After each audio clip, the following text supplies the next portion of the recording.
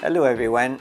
It's that time of year again where we look back on the 365 days that have passed. As we reflect on lessons learned, we also think about the things we look forward to in the coming year.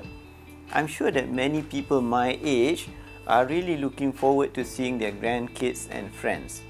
However, we must still continue to be vigilant during these times, which is why I always remind my friends don't let your guard down against COVID 19 and continue practicing the SOPs. I also tell them to go for their annual influenza or flu shots because there's a higher chance of catching flu this season, especially since we'll be mingling more.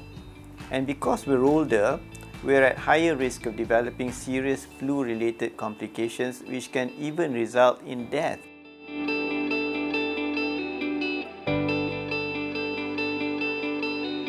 Recent evidence also shows that the flu can trigger cardiovascular complications, even for individuals without a history of heart attack or stroke.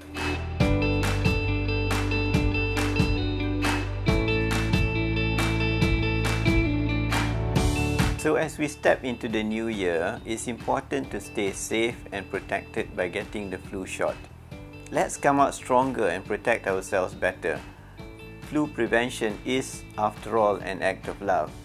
Here's wishing everybody a happy and healthy new year.